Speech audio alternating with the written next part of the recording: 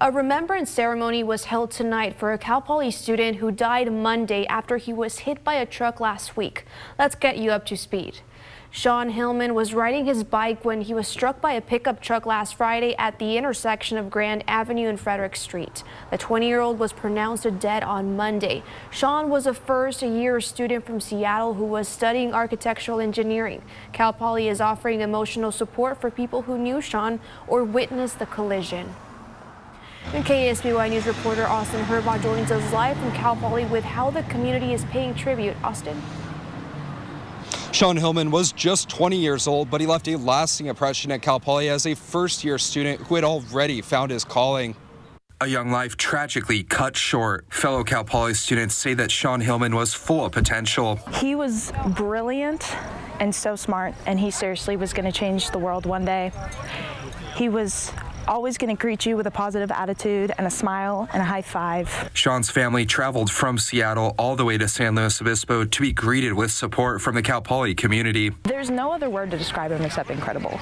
I have had so many instances this week where I got to get to know his family a little better and all the experiences and personality that I shared with him came right back through his family and just saying that we agree he's exactly like that. As a freshman, Sean was already well known at the College of Architecture and Environmental Design. I got to know Sean pretty well. He was always at the events and you notice when a first year is very involved and you could see on his face he was always very passionate, eager to learn, grateful to be here and this was definitely a place that he belonged. And Sean was also looking forward to the start of Design Village, an event where students build a structure at the architecture graveyard and sleep in it overnight. I just remember kind of being like, oh, this is a design. I, th I think it's all right. And Sean's like, okay, Give me two days. I'm going to make that. I'm going to make that into real life. I'm going to make it so the structure holds. And this is the finished product, which was completed and set up by Sean's team members on Friday. We came up with the idea for the roof to hold all the pedals together. We couldn't have done it without him.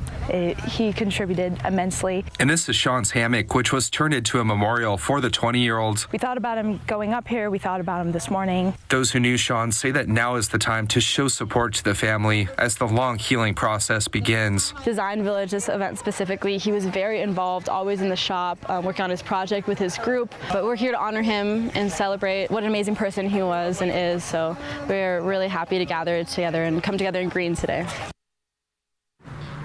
Now Design Village continues tomorrow with a full day of events out at Poly Canyon. Reporting in San Luis Obispo, Austin Herbaugh, KSBY News.